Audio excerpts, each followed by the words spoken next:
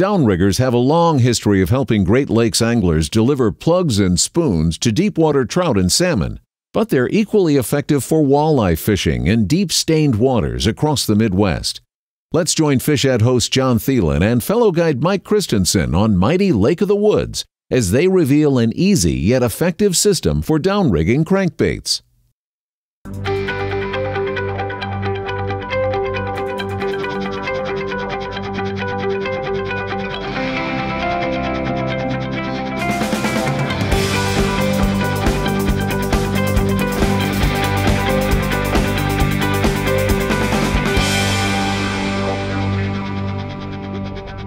There's a fish. That might be a decent one, huh?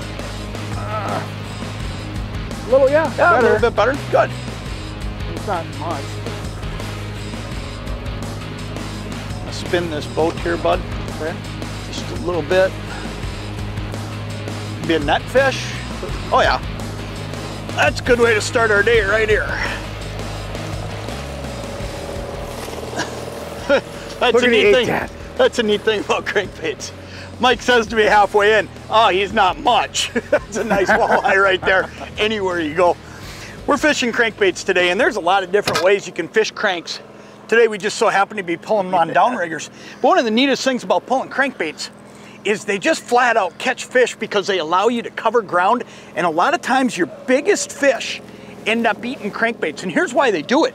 It's an aggressive tactic. It's a tactic that when that bait comes by, they can eat on both aggression and hunger. So it makes it just a, a dynamite way to catch numbers and bigger fish. But there's a lot of tips and tricks that go into how we pull our crankbaits. And just because we're using downriggers today doesn't mean that we don't use the same tips and tricks week in and week out, whether we're pulling lead core or three ways or long line and whatever it may be that right there is a great way to start the day. Stay right where you're at. There's a whole bunch of great stuff coming up that's gonna help you catch more fish next time you're out pulling cranks. Let's throw that guy in the well and get back in the water, bud.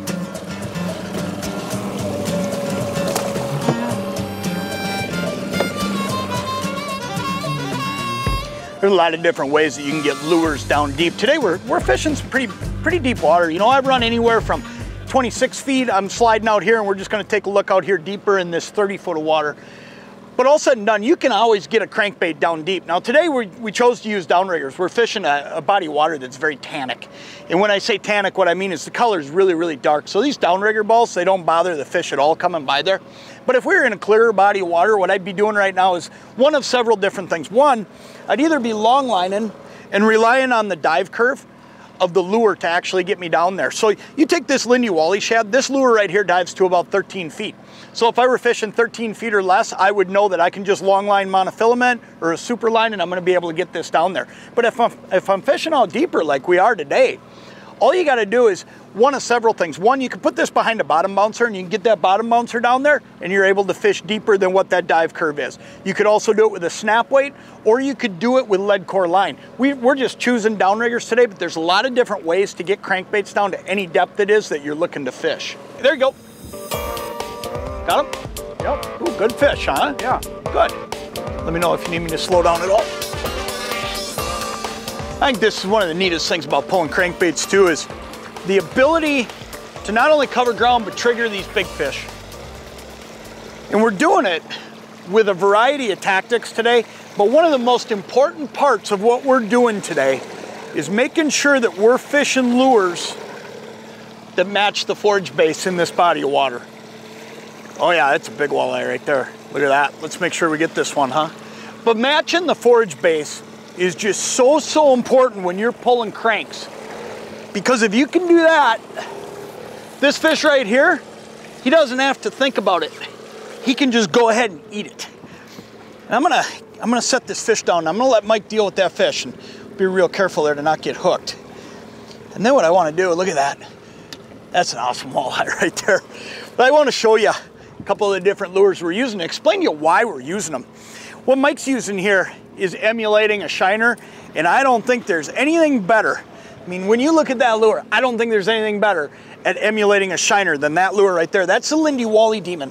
I'm gonna show you another one of them here. Here's the same thing, it's just in a different color. But you can see by this size, this is real similar to the shiner bass that these fish are eating in this body of water right now. That's a great fish, bud. Get her back? Yeah, let's go ahead and get that fish back in the water and then we'll talk a little bit more about some of these baits.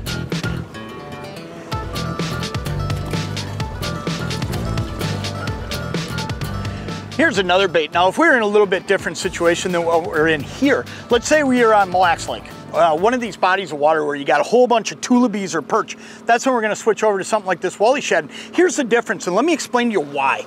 If you look at that Wally Demon and its shape versus that Wally Shad, this looks like a shiner because it has a profile that's really, really short. It's not tall. But as soon as you get into your perch or your tullibees, you wanna get into something that's a lot higher because that's a, it's, just a, a bigger profile bait. All said and done, what you gotta remember is this. When these lures come past a fish, they don't have a lot of time to decipher everything. So the number one thing they're looking at is the profile and what they're seeing and what they're used to seeing. And what we're trying to do is just match that. And it can make a huge, huge difference. If you're using the wrong profile on any given day, you might go all day without catching fish. Today we're able to catch them because we're using the right stuff right from the get-go. Jon, Ooh, good one. Look at that. Perfect. I'm gonna just kind of hang on to the boat. You tell me when you're getting close, okay? And I'll scoop them up for you. You got a bite too, Jon. Mine came off, which is probably all just fine because I think what Mike's got here is a pretty good one. Good keeper or hair big? Ah, it's good fish. Look at how he ate that crankbait. Look at that.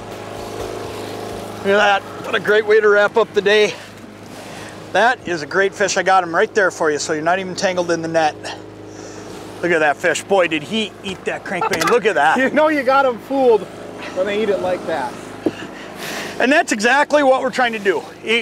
Get dialed into a bite from a standpoint of making sure that these fish honestly believe they're eating the real thing. And if you look at how we've cycled through crankbaits today and how we've done what we're doing, I've done a lot of changing. Mike's done more catching as soon as he got dialed into that exact crank right there. And he's actually had a better day just by making sure he's using the right one. The Wally Demon was what was hot today. That's a beautiful walleye and a great way to wrap up the day. Remember this, you can catch a lot of fish on crankbaits. You can catch your keepers, you can catch your eaters, you can catch your big ones, you can catch a lot of little fish. It's just one of the best tactics out there. Get out there and pull some crankbaits this summer because it's gonna give you the opportunity to do what we've done today and it's a ton of fun.